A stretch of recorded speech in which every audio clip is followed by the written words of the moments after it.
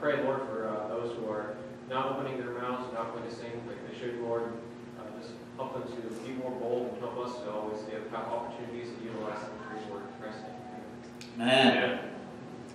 All right, if you grab your Bibles with me this morning, turn with me to Second Thessalonians chapter 3.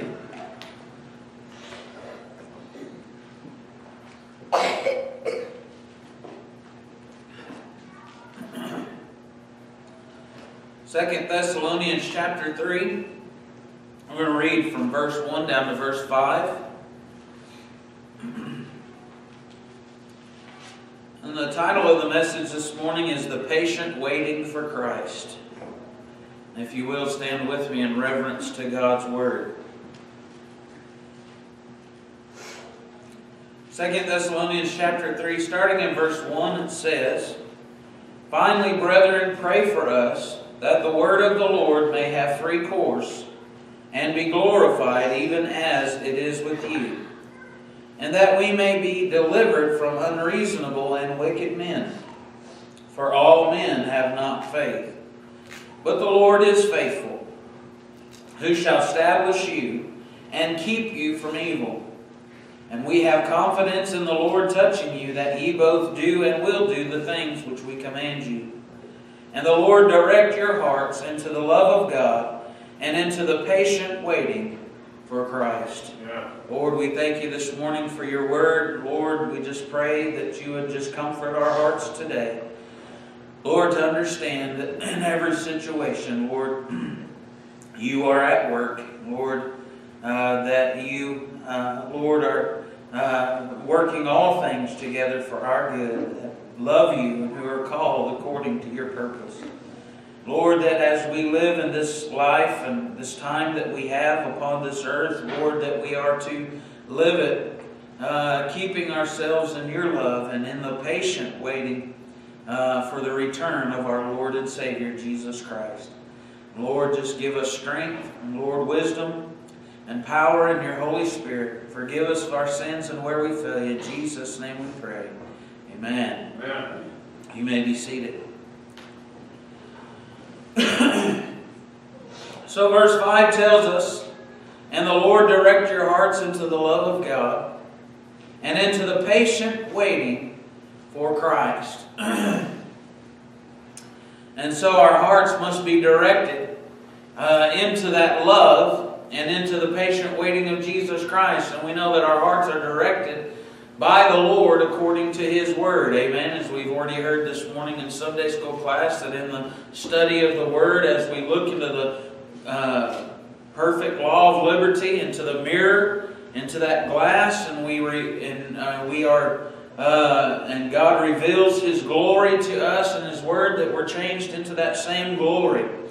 Uh, that God continues to change in us and direct our hearts closer to Him and to understanding what the love of God is. Amen. That God's love for us uh, is the reason that we have His mercy and His grace.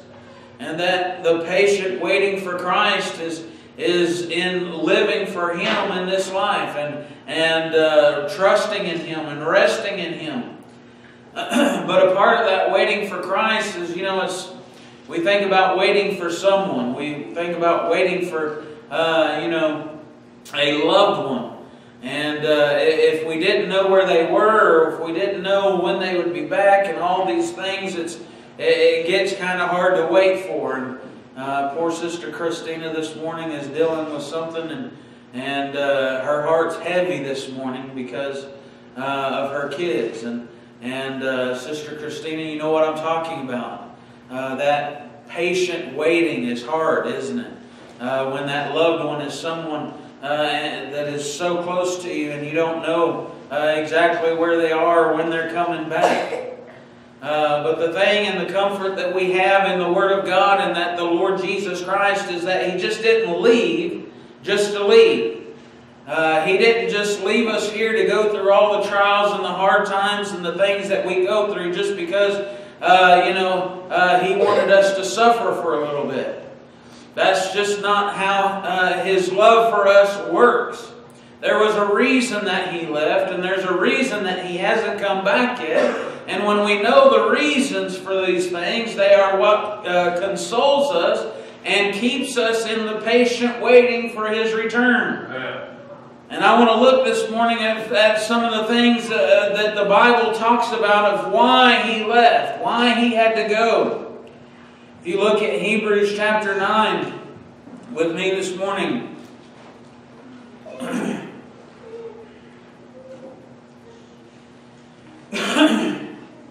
Hebrews chapter 9 and verse 24 through 28 says, For Christ is not entered into the holy places made with hand. Now I want to stop here for a minute. Please don't read on. If you think about the old tabernacle, and you had the place where the priest would come and they would offer their sacrifices daily. But then you had the holiest of holy, where only the high priest would enter in once a year to offer for his sins and the sins of the people once a year. It was the holiest of holies. Uh, where Aaron's rod was that budded, and uh, the mercy seat, and all that was there. Uh, and so the mercy seat was with the uh, covenant and with the seraphims uh, covering over, and we understand all that was a picture. The physical things was a picture of the spiritual. And the Bible teaches us that Jesus is our high priest. And that he offered himself for the sins of the people. Once and for all. And so he had to go and enter into the holiest of holies at the throne of God and present himself the sacrifice for all. So this is why he had to go. Amen. We understand this. In verse 24, let's read it now. For Christ is not entered into the holy places made with hands, which are the figures of the true, but into heaven itself, now to appear in the presence of God for us. Nor yet that he should offer himself often as the high priest entereth into the holy place every year with the blood of others. For then must he have, or often have suffered, since the foundation of the world. But now once in the end of the world hath he appeared to put away sin by the sacrifice of himself. And as it is appointed unto men once to die, but after this the judgment. So Christ was once offered to bear the sins of many, and unto them that look for him shall he appear the second time without sin unto salvation. And so he has presented himself now into the holiest of holies at the throne of God in heaven, which the things of the earth were a shadow of the true things that we see Jesus accomplishing for us is that he presented himself, the lamb slain, as the sacrifice for all. And we understand from 2 Peter uh, chapter 3 that God is not slack concerning his promise, as some men count slackness, but is long suffering to us. We're not willing that any should perish, but that all should come to repentance. And so that he is there in the holiest of holies, at the right hand of God, intercessing for us, amen, until all those who uh, he foreknew from the very beginning would put their faith and trust in him has done so. And then we understand he shall appear the second time without sin unto salvation. To bring to us that salvation that he has paid for already. Amen. And that salvation is going to be our new home, our new body. In the moment, in the twinkling of an eye, at the last trump, we shall all be changed. Amen. As the Bible tells us. Look at Hebrews chapter 8 and verses 1 and 2. Hebrews chapter 8 verse 1 says, Now of the things which we have spoken, this is the sum. We have such an high priest who is set on the right hand of the throne of the majesty in the heavens, a minister of the sanctuary and of the true tabernacle which the Lord pitched and not man. So he is still acting as our minister of the sanctuary and of the true tabernacle which the Lord pitched and not man. And that true tabernacle is his church. Amen. He is still acting minister over all the churches. Amen. He is still the one who is running. Uh, you know, the Bible tells us that he has given in his church uh, pastors and teachers and evangelists and all these different things for the perfecting of the saints for the preaching of the word, that we might all be grown up in him into that spiritual man, unto a perfect man, which is Jesus Christ the Lord. And he is still working in the churches to continue to bring us into that perfect man, into himself, which is bringing in us uh, the wisdom and the knowledge and understanding of the Word of God so that we are faithful ministers also. Look at Hebrews chapter 10. So, just because he's at the right hand of God does not mean that he is still not working. Amen. He is still working for us and in us and through us for his good pleasure and his will. Chapter 10, verses 10 through 22 says, By the which will we are sanctified through the offering of the body of Jesus Christ once for all were set apart. And every priest standeth daily ministering and offering oftentimes the same sacrifice, sacrifices which can never take away sins. But this man, after he had offered one sacrifice for sins forever, sat down on the right hand of God. From henceforth expecting till his enemies be made his footstool. For by one offering he hath perfected forever them that are sanctified, whereof the Holy Ghost also is a witness to us. For after that he had said before, This is the covenant that I will make with them after those days, saith the Lord, I will put my laws into their hearts, and in their minds will I write them. And their sins and iniquities will I remember no more. Now, where remission of these is, there is no more offering for sin. Having therefore, brethren, boldness to enter into the holiest by the blood of Jesus. And where's the holiest? The throne of God. Amen? Now, what is he saying? Having therefore, brethren, boldness to enter into the holiest, which is at the throne of God, by what? By the blood of Jesus Christ. Yeah by a new and living way which he hath consecrated for us through the veil, that is to say, his flesh.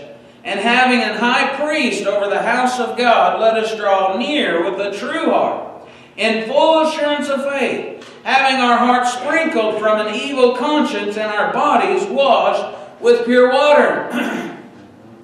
now, we cannot physically go to the throne of God, but we can go in the Spirit by prayer entering into the holiest at the throne of God because of the blood of Jesus Christ. Amen. So it's not like that because Jesus is at the right hand of God that we cannot reach. Because that's why He's given us this Holy Spirit, and that's why He's given us the privilege and the opportunity to go to Him in prayer. Now that should put a new perspective on our prayers. Amen. is that when we pray, it's not Jesus coming down to us, it's us going up to Him into the holiest. In other words, when we pray to God, we are coming before His throne. Amen. In prayer. And He says, Come boldly. Amen. That's what He says. He says, having therefore boldness to enter into the holiest by the blood of Jesus. You say you don't think that's what that means, but that's what the Bible tells us. If you look in Hebrews chapter 4, Hebrews chapter 4 and verses 14 through 16. says, Seeing then, then that we have a great high priest that is passed into the heavens, Jesus, the Son of God, let us hold fast our profession. For we have not an high priest which cannot be touched with the feeling of our infirmities, but was in all points tempted like as we are, yet without sin. Let us therefore come boldly unto the throne of grace, that we may obtain mercy and find grace to help in the time of need. When we go to the Lord in prayer, we are coming before the throne of God, before the throne of grace, to offer our prayers unto Him. Come boldly, therefore. Why? Because we understand that Jesus has therefore entered, being a faithful high priest unto us, so that we can now come before the throne of God and cast our care upon Him, knowing that He cares for us. This is part of that patient waiting for Christ. Amen. Is knowing that at any time and any moment that we can come before His throne. Amen. Isn't that an awesome thought? That at any moment, at any time, whatever is going on in our life and whatever need that we have, that our prayers are not just hitting the ceiling, but our prayers, by our prayers, we are coming right before His throne and talking to Him. Amen. Saying, Lord, this is what's going on in my life, and this is how I need you. Amen. What an awesome thing it is having our high priest, faithful high priest, in the holiest of holies.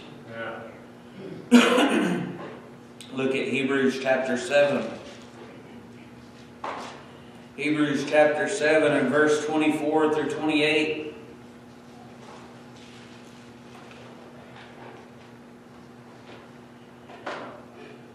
Says, But this man, because he continueth ever, hath an unchangeable priesthood. Wherefore he is able also to save them to the uttermost that come unto God by him, seeing he ever liveth to make intercession for them. Amen. Oh. For such an high priest became us, who is holy, harmless, undefiled, separate from sinners, and made higher than the heavens, who needeth not daily, as those high priests, to offer up sacrifice, first for his own sins and then for the people's. For thus he did once, when he offered up himself. For the law maketh men high priests which have infirmity. But the word of the oath, which was since the law, maketh the Son who is consecrated forevermore. Yeah. You see, he has an unchangeable priesthood.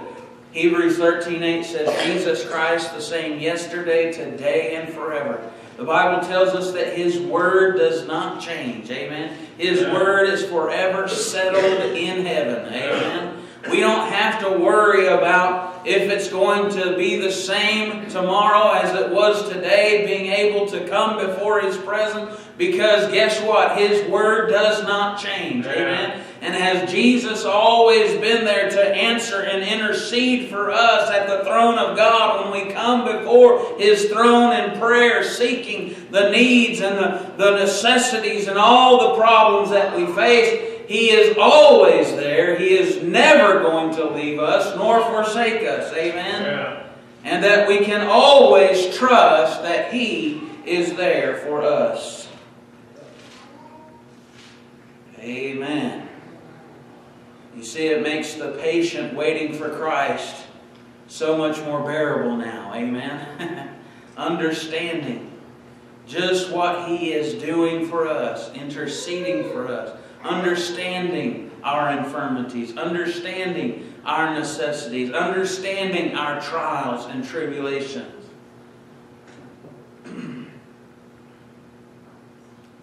Look at Romans chapter 8.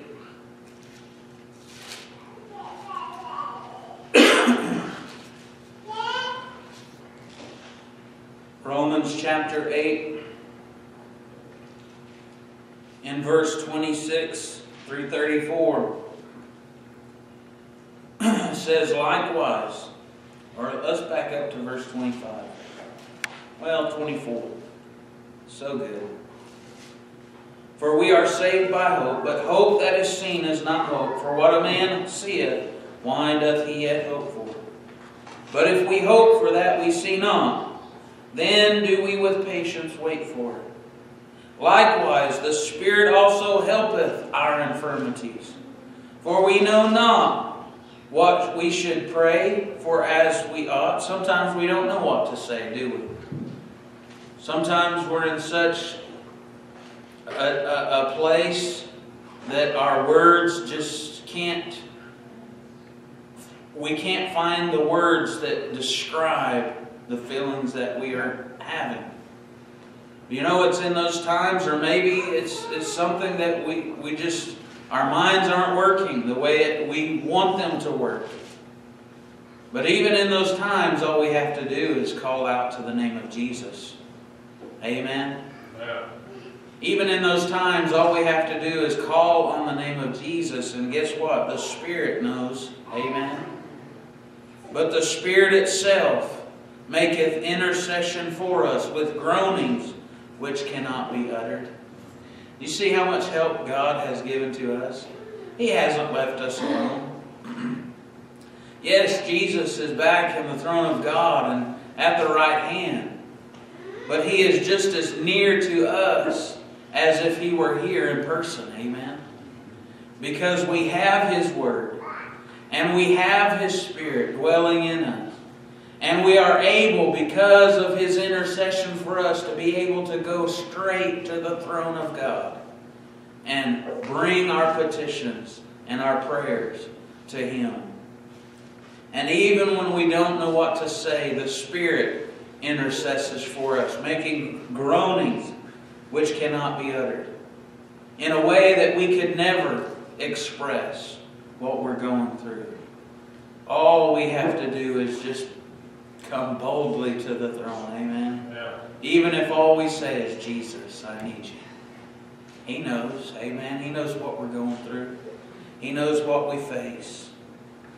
And it says, And he, he that searcheth the hearts knoweth what is the mind of the Spirit.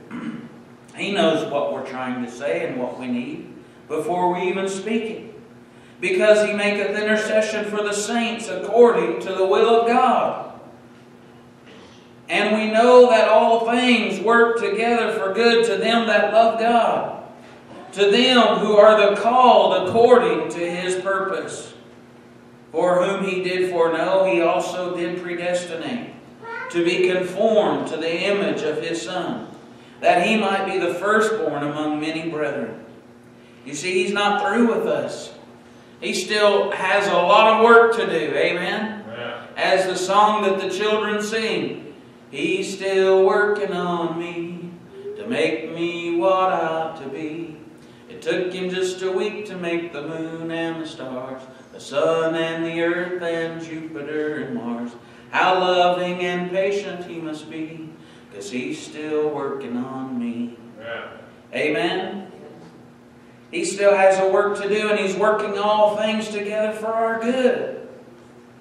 Why? Because He predestinated us, whom He foreknew, to be conformed to the image of His Son. Moreover, whom He did predestinate, them He also called. And whom He called, them He also justified. And whom He justified, them He also glorified. What shall we then say to these things? If God be for us, who can be against us? He that spared not his own Son, but delivered him up for us all, how shall he not with him also freely give us all things? Yeah. Who shall lay anything to the charge of God's elect?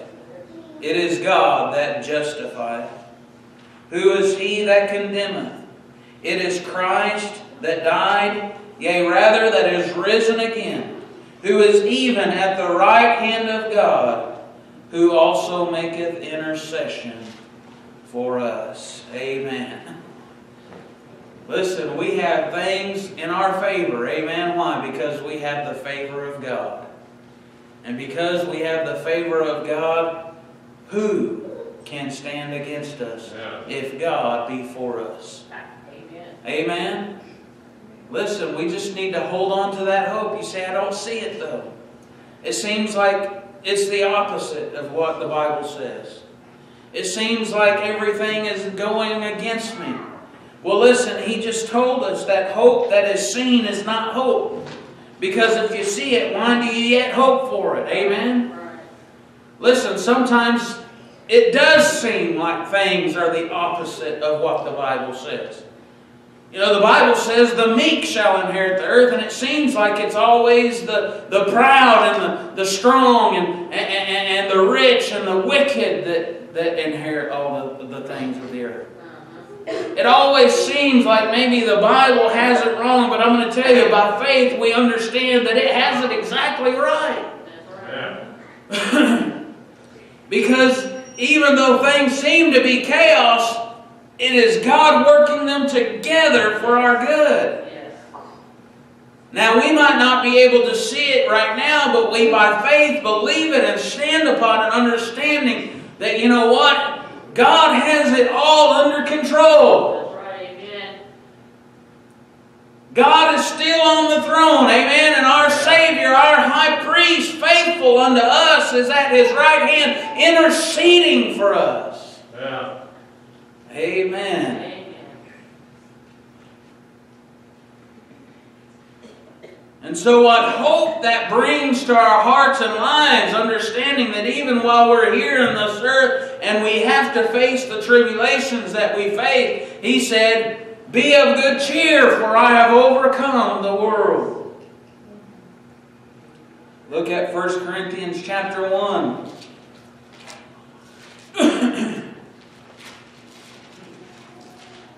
First Corinthians chapter 1 verses 4 through 9 says, I thank my God always on your behalf for the grace of God which is given you by Jesus Christ. Amen. That in everything ye are enriched by him, in all utterance and all knowledge, even as the testimony of Christ was confirmed in you, so that ye come behind in no gift waiting for the coming of our Lord Jesus Christ, who shall also confirm you unto the end, that ye may be blameless in the day of our Lord Jesus Christ. God is faithful, by whom ye were called unto the fellowship of his Son, Jesus Christ, our Lord. Listen, God is working in us by His Son, Jesus Christ, who paid for our sin, to what? Perfect in us. Amen. To uh, Himself, that we would come behind in no gift while we are waiting for the coming of our Lord Jesus Christ. There's a song that the cathedrals used to sing.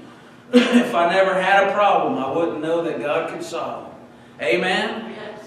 Isn't that a great way to look at it? If we never had problems, we wouldn't know how great a God we have and we serve that can solve those problems and can bring us peace and joy even in the midst of troubles and trials. Yeah. It was down in the valley of the shadow of death that it says by the psalmist, and he prepares a table in the midst of my enemies. Amen. I tell you what, we have a feast with God wherever we're at because He's for us and not against us. Amen. And the Bible tells us that His thoughts toward us are good. Amen. It's not evil that He thinks against us, but all the things that we go through, He's going to confirm us through. Not despite the world, but through the world, and through the trials, and through the, the problems that we face. Is He going to confirm us and bring us to that day that we may be blameless before Him at His coming. God is faithful. Don't forget that. Don't forget how faithful He is to us. Look at chapter 10 of 1 Corinthians. 1 Corinthians chapter 10, verse 12 and 13 it says, Wherefore let him that thinketh, or excuse me, wherefore let him that thinketh he standeth take heed lest he fall. you know why? Because the best place to be is on your knees. Yeah. Amen? because when you're on your knees, that's exactly where God can work in your life. Amen? Is when you've humbled yourself to Him.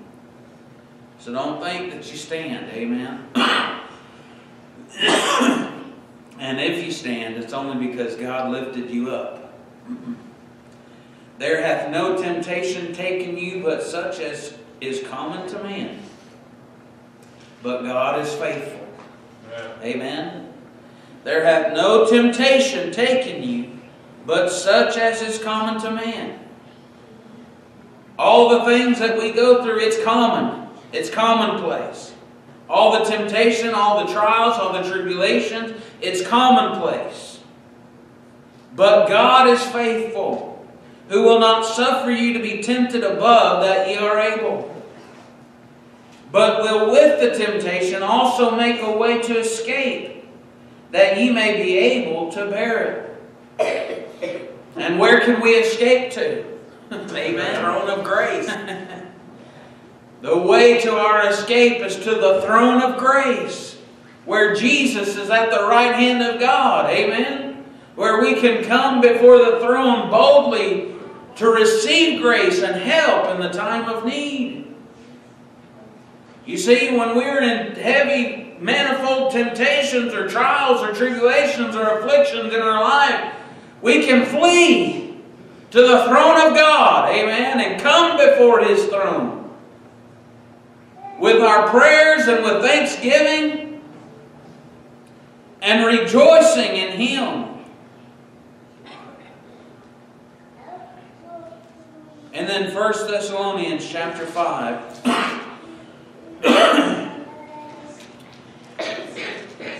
and we'll be through. God is faithful. Amen. 1 Thessalonians chapter 5, verse 14 through 24 says, Now we exhort you, brethren, warn them that are unruly Comfort the feeble minded, support the weak, be patient toward all men. See that none render evil for evil unto any man, but ever follow that which is good, both among yourselves and to all men. Rejoice evermore. Pray without ceasing. In everything give thanks, for this is the will of God in Christ Jesus concerning you. Quench not the Spirit. Despise not prophesying. Prove all things. Hold fast that which is good. Abstain from all appearance of evil. And the very God of peace sanctify you wholly. And I pray God your whole spirit and soul and body be preserved blameless unto the coming of our Lord Jesus Christ. Faithful is he that calleth you, who also will do it. Listen, it's times like these that it's hardest to believe, right? But that's the righteousness of faith. Is that when God's Word says it, we can mark it down Amen. and take it to the bank. Amen. That we know, that we know, that we know that His Word is true. Amen. And that He is faithful. And He will do what He has promised to do. Even when Satan is doing all that he can to make us think that God doesn't care and he's not there for us.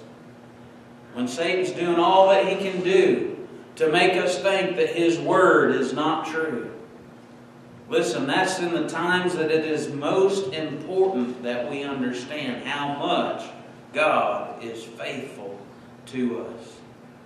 Don't forget it.